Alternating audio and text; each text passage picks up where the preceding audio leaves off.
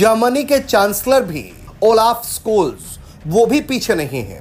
उन्होंने तो बकायदा ट्वीट करके कहा है कि दुनिया को भारत जैसे भरोसेमंद दोस्तों की ज़रूरत है। इंडिया जर्मनी जो है उनकी जो डिफेंस पार्टनरशिप है वो बहुत तेज़ी से बढ़ रही है। हर कोई दौड़ा भागा चला जा रहा है इंडिया की तरफ़। सबकी दौड़ें लगी हुई हैं इंडिया की तरफ़। ये आप देख रहे हैं। जितनी भी बड़ी डेवलपमेंट्स हो रही है दुनिया में उसमें हमें ये नज़र आ रहा है कि हर कंट्री हर कंट्री का लीडर जो है वो इंडिया की ही बात करता है और कुछ ना कुछ हो रहा है। पूरी दुनिया की कंट्रीज़ का कुछ ना कुछ इंडिया के साथ चल रहा है हो रहा है। ट्रेड हो एग्रीमेंट्स हो साथ में आ, कुछ फोरम्स पर मुलाकातें हों कॉन्फ्रेंसेज हों समिट्स हों जो भी हो। अब अभी तो आपने देख लिया ब्रेक कॉन्फ्रेंस लेकिन अब हुआ यह है कि जर्मन चांसलर ओलाफ शोल्स पहुँच चुके हैं India Stolz has arrived in India for a three-day official visit ahead of the seventh intergovernmental consultations, also known as IGC.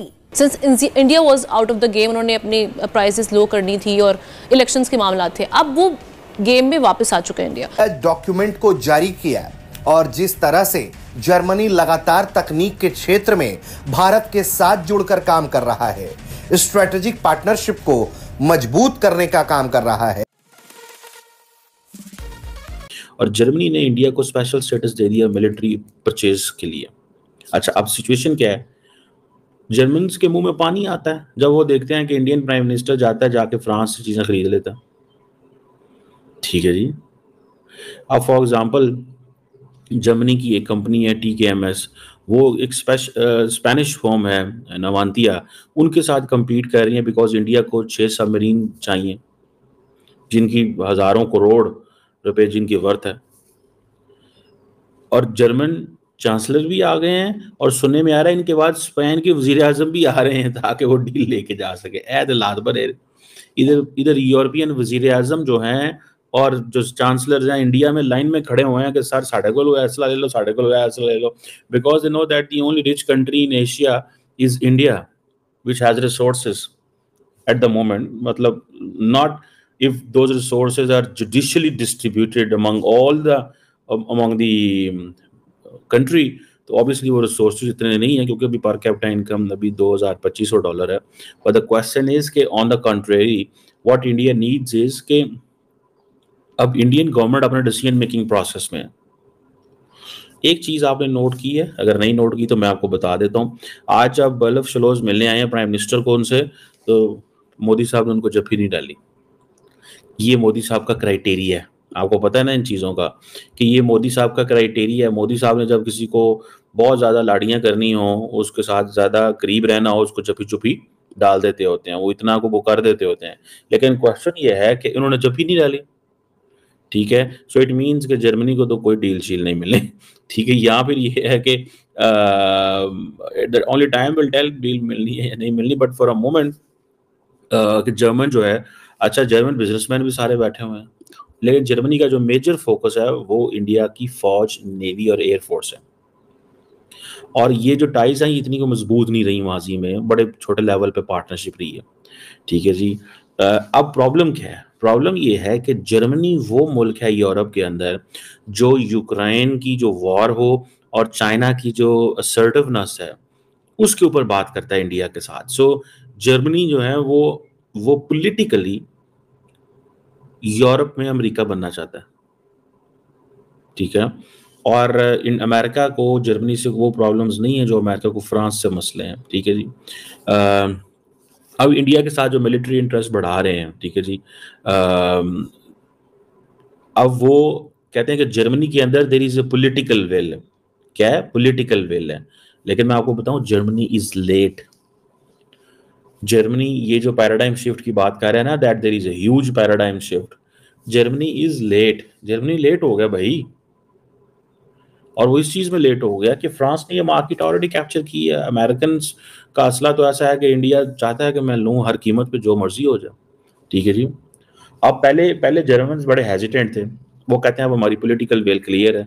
लेकिन they are late they take a decision German foreign German जो है जो हुकूमत है, उनको they should have taken a decision earlier उनको पहले फैसले ले लेने चाहिए थे।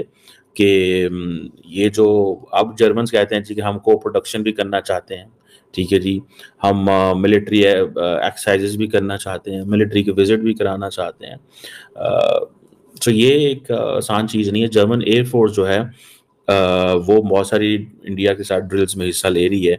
लेकिन at the end of the day याद रखिएगा कि जर्मन एयरफोर्स जो है वो जो भी करे इंडियंस अब जब राफेल ले बैठे हैं ठीक है जी।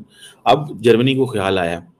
अब जर्मन चांसलर आ जाएँगे वो यही कहेंगे कि हमसे जो है वो सबमरीन्स लो। जर्मनी कहता है जी इंडिया हमारा नेचुरल पार्टनर है। ठीक है जी।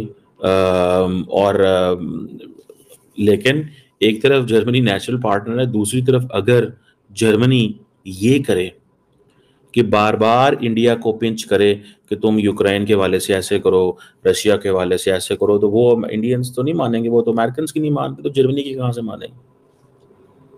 ठीक है ना सर तो ये कोई आसान काम नहीं है।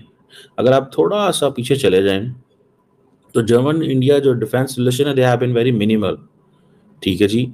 और जर्मनी का जो फोकस है वो ज़्यादा ईयू और बाकी ये अपने, देखिए ये जो ममालिक है ना, सारे के सारे इनको बड़ा टाइम लगा है। कई मुल्कों को इंडिया को प्रोसेस करने में जल्दी लग हुई है, कईयों ने बड़ा टाइम ज़ाया कर दिया।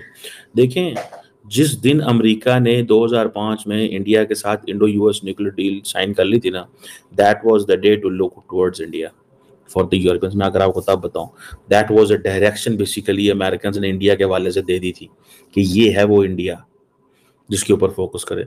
आज 2005 देखें और 2024 देखें इंडिया अमेरिका ताल्लुकात कहाँ पे हैं? सो इट मीन्स कि आपको ट्रेजेक्ट्री चेक करनी होती है। आपको सिग्नलिंग है। जर्मन वो सिग्नल नहीं पकड़ सके। फ्रेंच ने वो सिग्नल बहुत पहले पकड़ लिए थे।